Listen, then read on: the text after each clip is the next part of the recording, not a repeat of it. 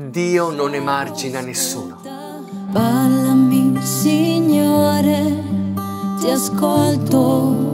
Cristo risorto, buona giornata carissimi amici. Accogliamo anche oggi con grande gioia la parola di Dio e leggiamo insieme il Vangelo secondo Luca, capitolo 8, dal versetto 1 al versetto 3. In seguito, egli se ne andava per città e villaggi, predicando e annunciando la buona notizia del regno di Dio.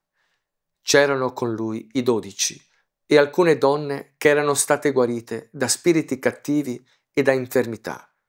Maria, chiamata Maddalena, dalla quale erano usciti sette demoni, Giovanna, moglie di Cusa, amministratore di Erode, Susanna e molte altre che li servivano con i loro beni.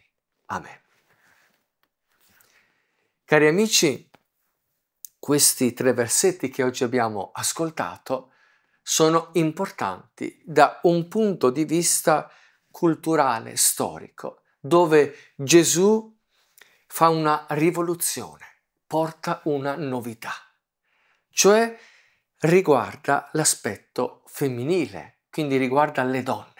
Le donne al tempo di Gesù erano considerate come bambini o schiavi, quindi emarginate. Non potevano rivestire cariche pubbliche, non erano importanti, erano trascurate, avevano certamente una loro dignità, ma accanto all'uomo, il capo della famiglia. Quindi mai potevano assumere dei ruoli importanti, anche nell'aspetto della fede. Pensiamo ai bambini maschi invece, dopo i 12 anni, già potevano iniziare a leggere e a studiare la Torah, la legge, le bambine no. Ecco quanto è importante comprendere che Gesù, soprattutto in questo Vangelo secondo Luca, un Vangelo aperto all'universalità della salvezza, l'Evangelista Luca, medico e bravissimo scrittore, molto dotto, vuole farci vedere, farci cogliere questi aspetti singolari, che forse per noi dopo duemila anni non dicono molto, ma a quel tempo invece erano molto significativi. Gesù ha lasciato entrare nel ramo, potremmo dire, nella cerchia dei suoi discepoli anche le donne. Non erano i dodici apostoli, certamente, però tutte quelle donne che volevano seguirlo, che erano state colpite dalla parola di Gesù, guarite, liberate, lo seguono e Gesù le accoglie. E vanno con lui, insieme ai discepoli, insieme ai dodici, testimoniano, lo seguono fino a Gerusalemme.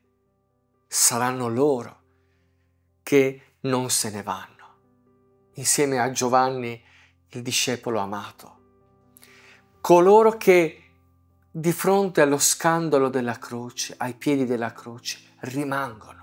Sono più fedeli di tutti gli altri uomini e maschi, ad eccezione di Giovanni, ripeto, perché gli altri hanno preso paura, se ne sono andati.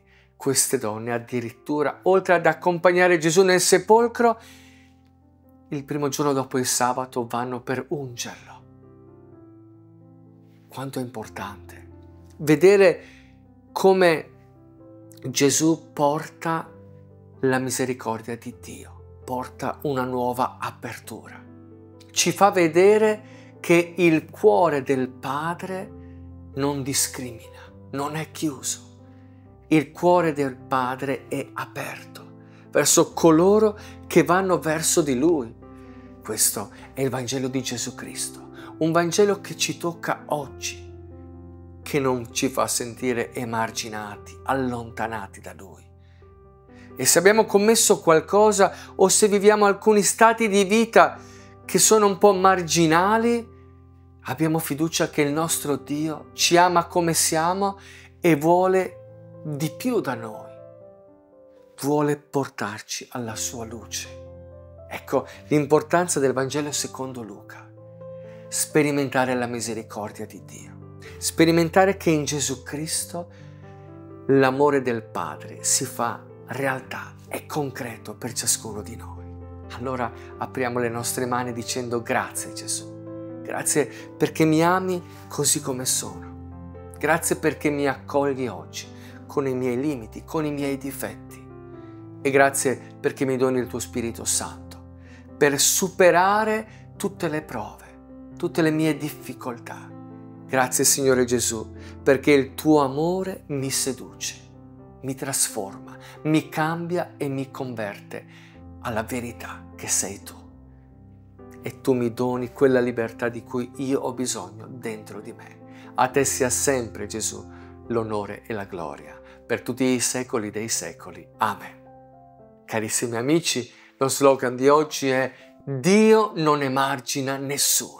Dio apre le sue braccia, ci accoglie così come siamo e oggi ci trasforma per camminare nella sua luce. Amen carissimi amici. Ci vediamo questa sera nella serata biblica, la storia della salvezza, dove ci sarà un tema bellissimo, il tema di come Israele è andato in esilio e proprio nel momento più duro e difficile della propria storia ha riscoperto la coscienza della chiamata. È ciò che accade nella nostra vita. Ecco, vedere le crisi in un'ottica positiva, anzi ricostruttiva iscrivetevi sul nostro sito web e ci vediamo questa sera.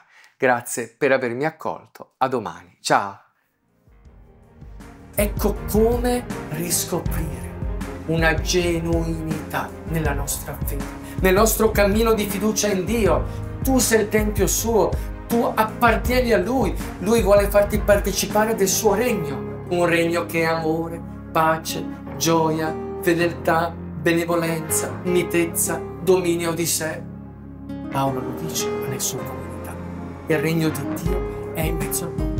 Noi siamo il suo popolo, il Tempio e ciascuno di noi.